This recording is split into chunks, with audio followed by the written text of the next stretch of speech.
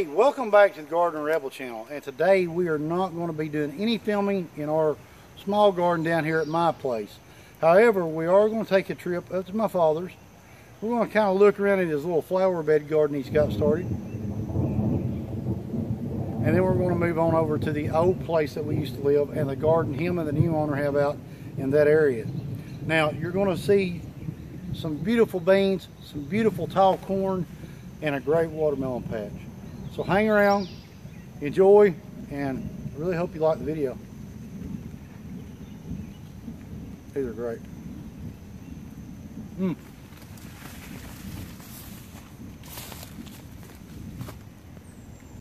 All right.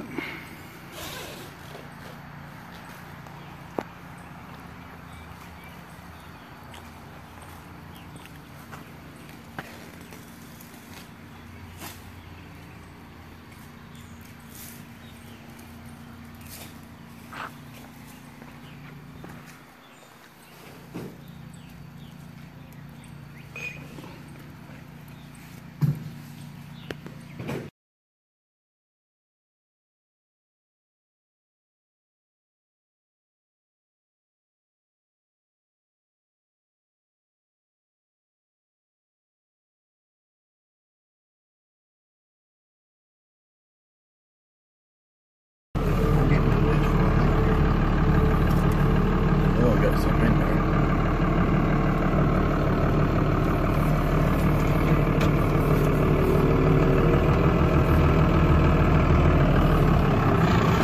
You got few right there.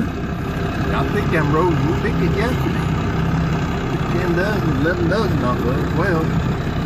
12 dozen.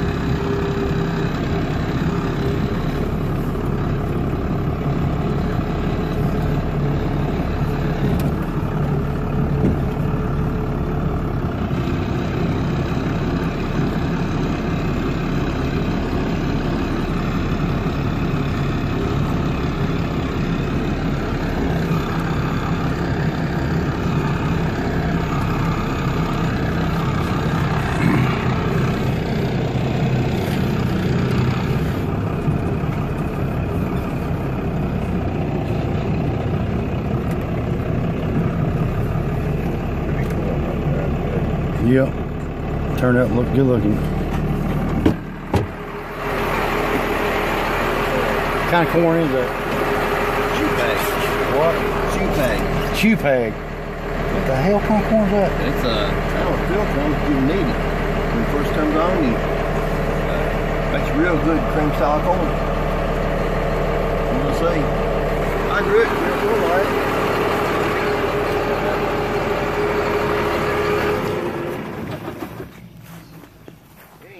Started tossing yet. Look at the size of the dang stalks though.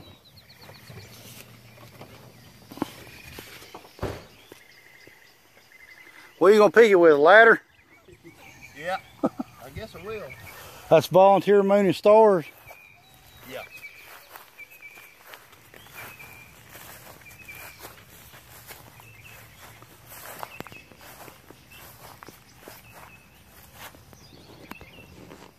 We're up here at my pop's place, just looking around, checking out the garden. That's some pretty corn. Some I had to replant. It didn't come up, so it's short and tall. But You got a phone call. hey, Grady. All right. Yeah. It is. It is. it's unreal how it's growed, ain't it? It's unreal how it's growed.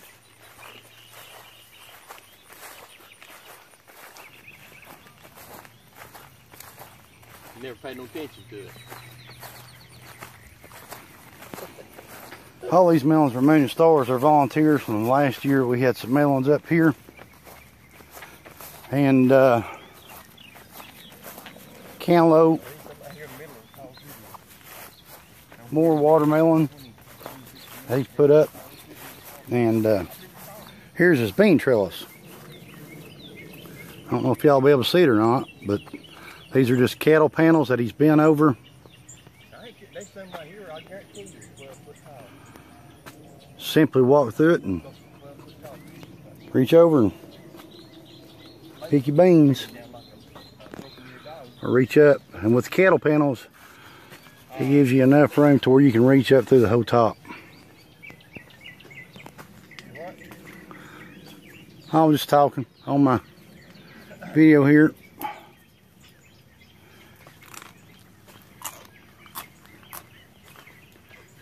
Got a pollinator in here. Then you come out to the okra.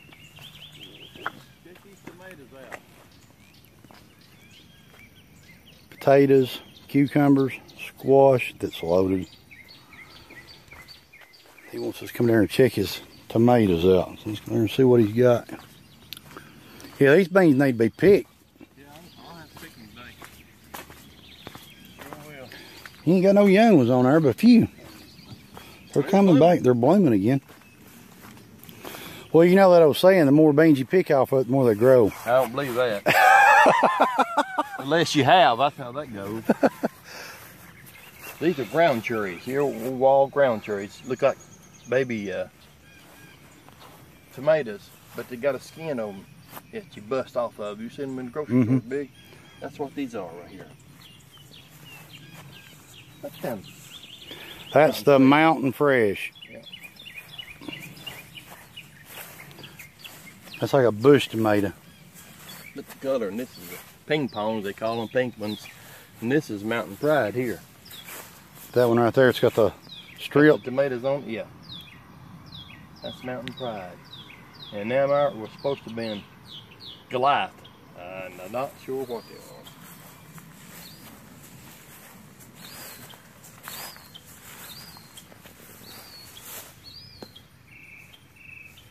But there's some pretty good tomatoes in there. Are they? What they taste like? Good. They got they got a good taste to them. They really do. They just think what you wanted. Not what I called for. Not what I called for. These here's got a, a lot of core to them. And may may make some good juice tomatoes, I guess. Uh, Grady might know. He told me what he thought they were. I don't know. I'll be honest with you. but I'm gonna walk down there while I'm out and getting my feet wet. I'm gonna look at each one and put them in the corner. Let me ask you a question, because everybody's always asking me this. How much money does it cost us a year to put out these gardens? In Uh, seed and fertilizer.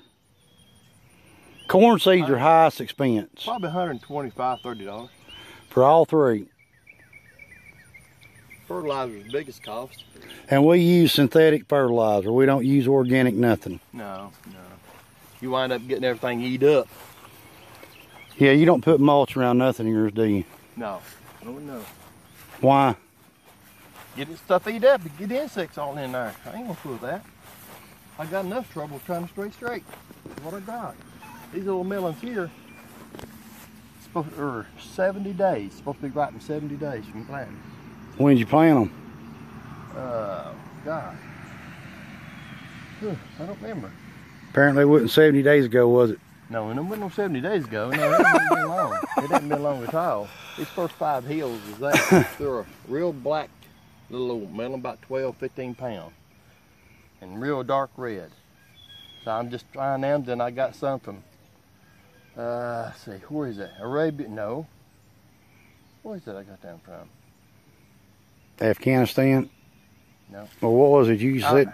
I- Iraq. Iraq. Yeah. I got some seeds here from Iraq. It looked like a Charleston Gray. Abula or some kind of a name like that. But no, I didn't have a good show this year on watermelons. Well, you know, we lost all of ours in that flood, and you had wind damage. Yeah, I had bad wind damage because there wasn't no grass to hold the plants, the runners. A lot of people So don't I think see- about I that. You see grass in here now because I, I, I just quit cutting the grass out. If you don't, you'll wind up in just a big ball of vines. That's all you got. They're laying on top of each other. So the tendrils, the little vines coming off, it's got to have something to grab hold to. Right. If you don't, they turn upside down and just go into one big wad. Whichever way the wind blows, that's how it happens. What he's talking about are those little guys that shoot off right there. And they'll actually wrap around grass stems and it keeps them steady on the ground. Which his melon patch doesn't look anything as nice as mine because mine's covered in grass. They're safe. Well, these right here are safe. We'll quit.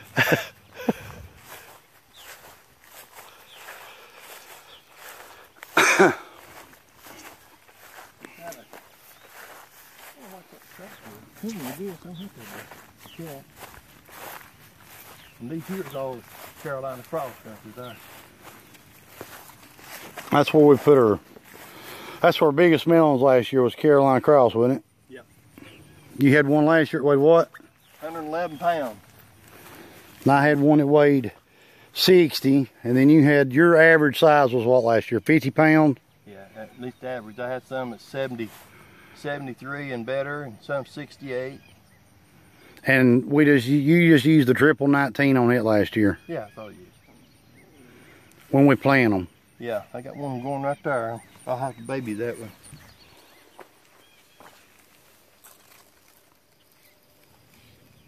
It's hard to believe it's something that size in less than three months to go to 111 pound Or bigger. or bigger. Yeah. You got a cat down here. Yeah, that's good. Keep Here- your rats here's, out. Here's your wind damage. When it throws all the vines in one area in one direction that you get. That's what you get. And I come through and straighten a lot of them up. A lot of them up.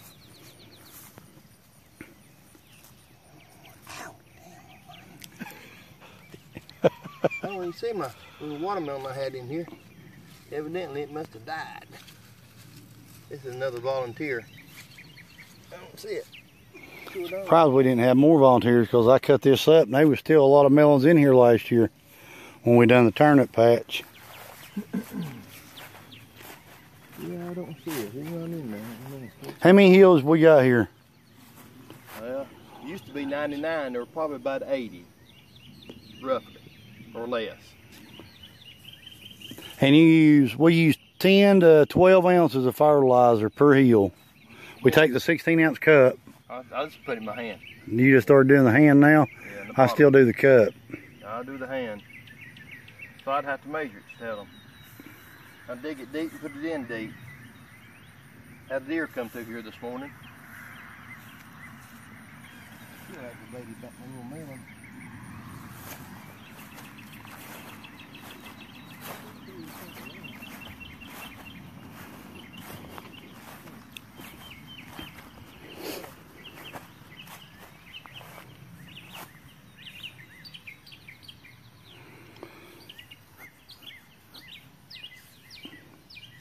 So a hundred, let's just say we got $130 in this, all three spots. How many cans of green beans you put up this year? It's been How many's been pulled out of the garden, you think? How many bushel? I don't know about bushels, but they've been about at least 80 quarts, I know. How much corn so far? Uh, probably 15 dozen. That's all we picked so far. Here's the corn. Yeah, and they still got corn to pick. I got I got to have a second picking yet. How much okra, or not okra, but squash and cucumbers you think you got out of here? I don't know.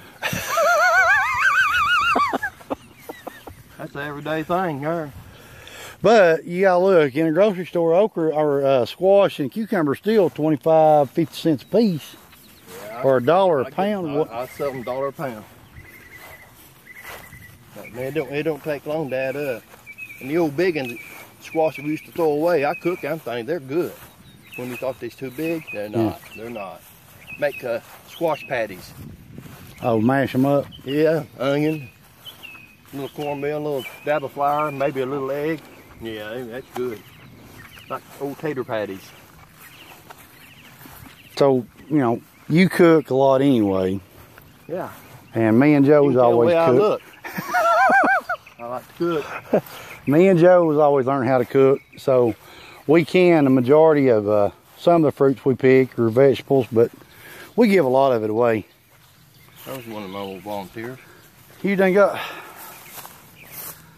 watermelon on there. That's a, what is that? Might be a black diamond. That's what I was thinking. I, I don't know because it's not crossed or anything, so don't have no moon or stars on it. That's a good thing. And you got new hills planted here at the end.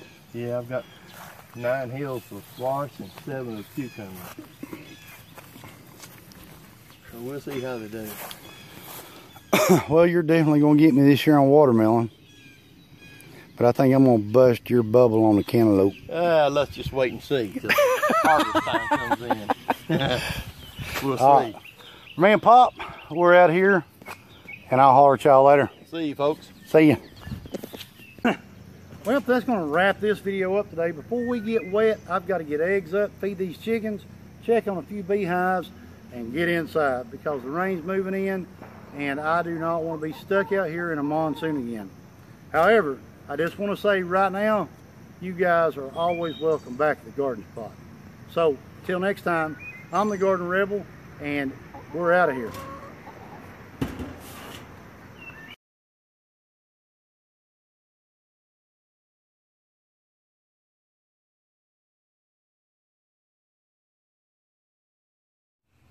You can slap tighter on